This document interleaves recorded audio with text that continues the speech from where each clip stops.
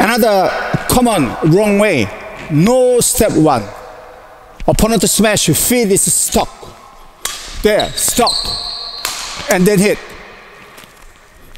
Here, stop. And then hit. No one. What happened? If he hit drop, stop, drop, and I can't move. If he clear, same, stop. I can't move. Must be done. Racket position too high. Opponent is smashed from the middle.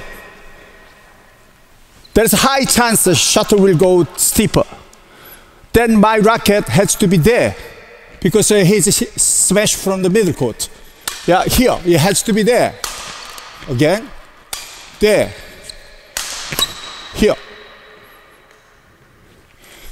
But depending on the situation, his racket position is wrong. Racket is there, but his racket is there.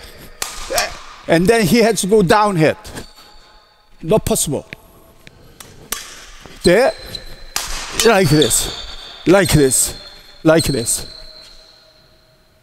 The racket, posi- racket position has to be changed depending on where opponent is smashed from. I see this wrong way from the intermediate players.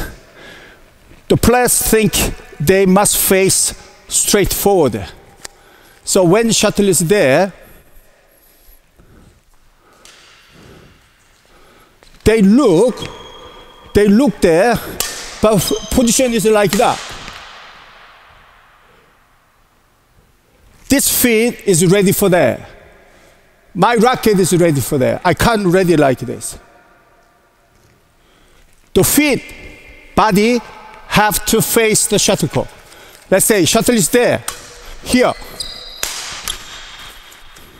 like that. This way, I am ready here, I am ready here. 50 50. Not like that when shuttle is there. Same. Shuttle is there, not like that. Not like that. Yeah, here. Like that. Uh, no, because I'm not facing him.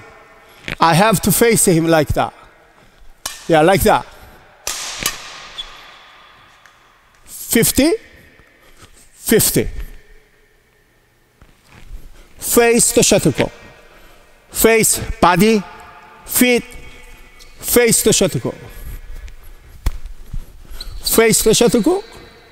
If shuttle is uh, straight, face is straight.